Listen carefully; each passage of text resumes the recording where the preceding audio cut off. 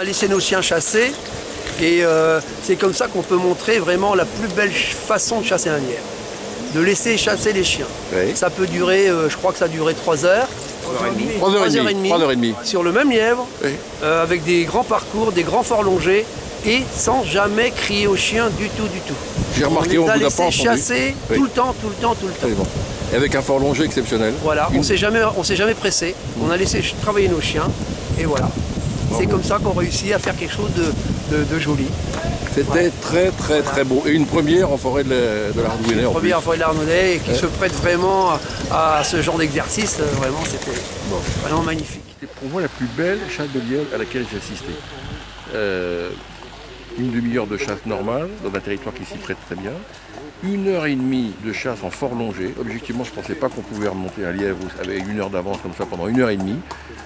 Relancé, pris au bout de trois heures et demie, chapeau, et surtout, surtout, dans un calme, sans un bruit, sans un cri, les chiens appliqués, qui travaillent ensemble, dès qu'il y a le moindre, dans les, dans les balancés, j'ai remarqué, dès qu'un chien, un coup de gueule, tout le monde rallie derrière pour voir s'il s'est pas trompé.